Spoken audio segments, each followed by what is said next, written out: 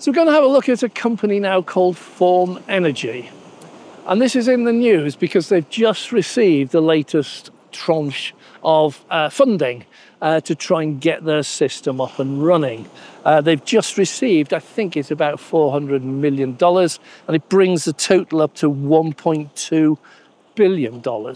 So they've got a shed load of money now, and this they think is the, is the future. And it's a technology called uh, iron um, oxygen. Iron is an I-R-O-N, not ion, I-O-N, uh, iron, ferrous iron. Uh, and it's a really simple principle. I don't understand it, uh, but again, I'm not making it. Uh, they reckon if you let iron rust in the presence of oxygen, it produces energy somehow. And you can store that energy. And if you need the energy back out, all you do is you just reverse the process.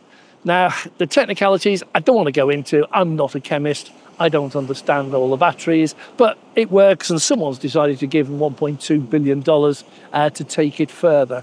They've actually got it working. It's a really good system. It works brilliantly. Uh, they just now need to see if they can scale it up. Is it going to end up in cars? No, never. Um, it's, it's a very different type of energy. It's a really slow burn energy, if you like.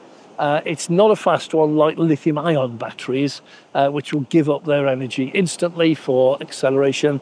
Uh, it is a longer term one, and that's absolutely ideal for grid storage uh, systems, uh, where um, if you have a massive, massive big uh, battery structure with all this stuff in it, that's absolutely great. You can release bits of it from everywhere and you get all the energy that you need. It is the future for, uh, off, uh, for grid storage uh, and for off grid systems as well, where you don't need instant power or need instant access to it. All you need is um, a slow trickle. So that's looking very promising. And this is what I said a long time ago about batteries a lot of the batteries that we keep talking about, like solid state, like sodium ion batteries, like aluminium ion batteries, there's a whole pile of batteries being invented at the moment. Um, there's fantastic research going into it. And it does mean that we are going to be seeing some of these in the future. The only question is, where are we going to see them? Because everybody always assumes that they're going to go into cars. And an awful lot of these technologies, they just are not suitable for cars. So they each have their own purpose. So you might find, for example, that a high performance car like a Ferrari or Lamborghini that might want one particular type of battery, let's say solid state. You might have another type of car, which is your bread and butter, your three and five door hatchback car, family car, where you're going to need several billion of them. Uh, they need a little bit of power, not uh, Ferrari acceleration, uh, and they need a good storage mechanism. And so consequently, it's horses for courses, so there'll be an awful lot of different technologies coming out. The other thing that does change is the actual energy density. So in the early days, the NMCs, the nickel, manganese, cobalt came out, and they were the high power batteries, uh, high storage, high energy density. They, they packed an awful lot of power in them. And that was the answer for the cars, and that's all everybody had for the first uh, good number of years. Then along came LFP, which don't use manganese or cobalt. Uh, they are much better, they last longer, they are, um, they are much more tolerant of taking a full charge up to 100% down to zero, uh, but they don't have as much power. And they were quite, they were about 30, 40% less uh, than the NMC batteries. But over the time, uh, last few years, five years probably, but two years certainly, what's been happening is they've been getting the chemistry much better. And so these batteries now are all very, very much more powerful than they were uh, just five years ago. So the NMC batteries, they've gone up nearly 50% in power density. So they're much more powerful, giving you longer range. LFP have seen a massive increase and they now are approaching the NMC batteries, uh, but very much cheaper, about 20 or 30% cheaper. So there's an awful lot going on, and everyone still uh, goes on about solid state batteries. And these are about five times as powerful as the NMCs, so they're really, really powerful.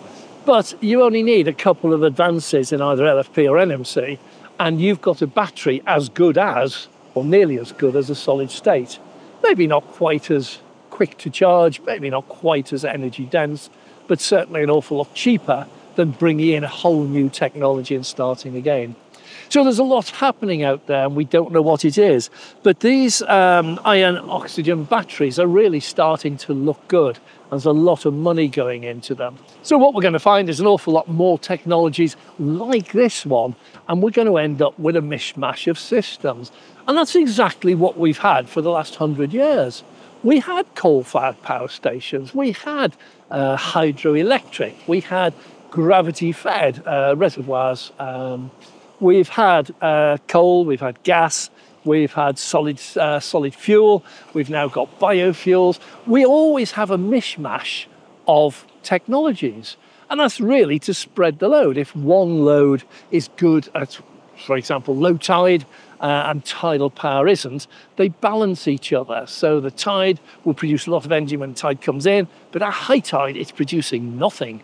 So you need something else, and the two work together. And that's what we're going to see with the grid. The grid is going to change out of all recognition and it's just going to become a massive, massive hub of batteries, which will be the grid. And then everything will be feeding into the batteries.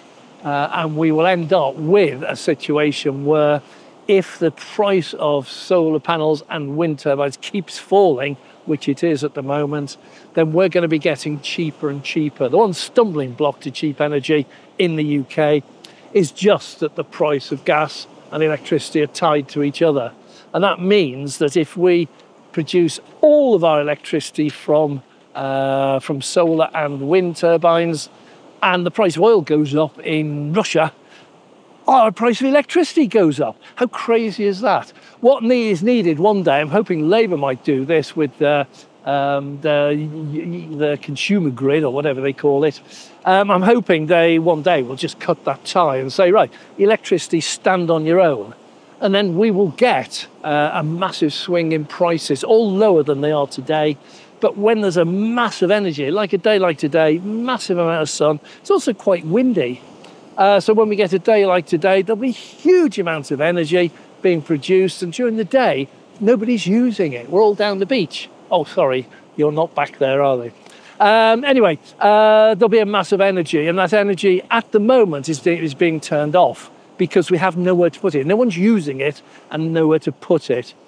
In the future, what we need to do is do massive battery storage so that we've always got somewhere to put it.